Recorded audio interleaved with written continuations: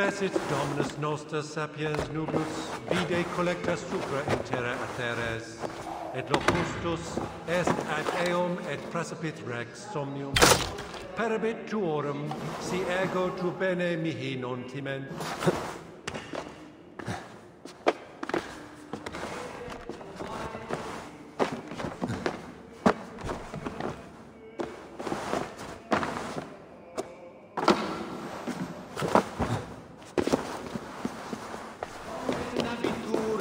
convenient.